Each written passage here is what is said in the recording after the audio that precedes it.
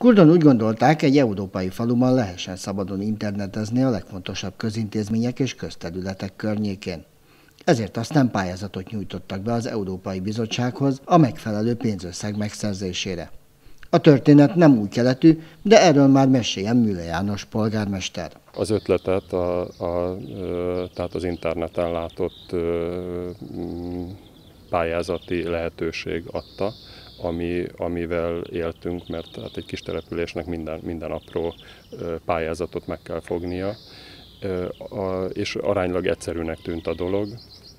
Regisztrálni kellett egy pályázati felületen, amire elég gyorsan kaptunk visszajelzést. Egyébként nem, nem elsőre sikerült, már a tavalyi év közepén megpróbáltuk ezt, akkor elutasították a pályázatunkat. Ez most már számunkra a második kör volt, amikor, amikor próbálkoztunk, és ö, sikerült. Tehát mondhatom, hogy néhány napja aláírtam a támogatási szerződést. Arány, aránylag egyszerű, mert a, az Európai Bizottság tulajdonképpen minden Európában levő település számára nyitottá tette ezt a lehetőséget azt szeretnék elérni ezzel, hogy, hogy mind a, az uniós állampolgároknak és a, a, tehát az itt élő nyilván a közösségeknek elérhető legyen a nyílt internet. Igyekszünk a, megfelelve a pályázati követelményeknek a középületeket és a, a közterületeket minél jobban lefedni,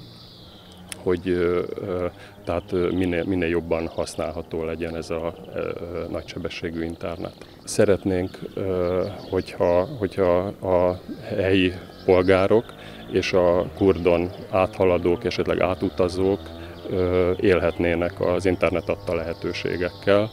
Látjuk azt, hogy, hogy ma már szinte az élet erről szól a gyerekek kezében, de mondhatom, hogy Kurdon a, az, a, az az 50 fő, akik az idősügyi programban a számítógép használattal megismerkedtek, úgy gondolom, hogy ők is kiválóan fogják tudni használni ezt a lehetőséget, most már a közterületeken is.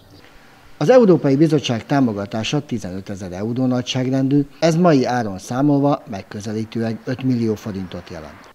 A támogatást nem az önkormányzat kapja, hanem az a vállalkozás, akivel szerződnek majd a kiépítésre és az üzemeltetésre.